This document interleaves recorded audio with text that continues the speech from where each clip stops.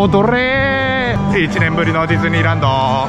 3年ぶり。3年前の俺アホやから。2泊3日の東京旅行で2日ともディズニーランド来ました。待ち時間2時間とかやのにスペースマウンテン3回やりました。ビッグサンダーマウンテン行こう。4名様を目安にお並びください。全てにおいてちょうどいいアトラクション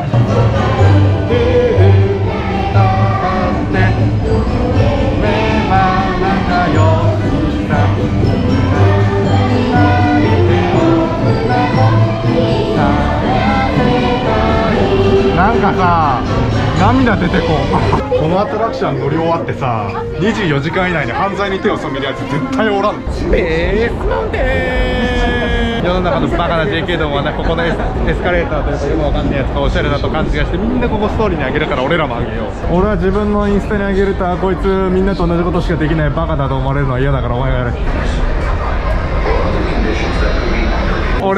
リュックどっかに置いてきた。ない。ディズニーランドだけなんとかなるやろ。嘘やん。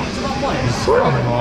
さあさあ楽しかった？じゃないよ。あの本当にそれどころじゃないのよ。リュックをねなくしたってことはすなわち学生証も免許証も現金もカードも何もかもがない。本当に困っちゃった。さあ果たしてディズニーランドでリュック丸ごとなくしたんですがありますかね？あそこだよね。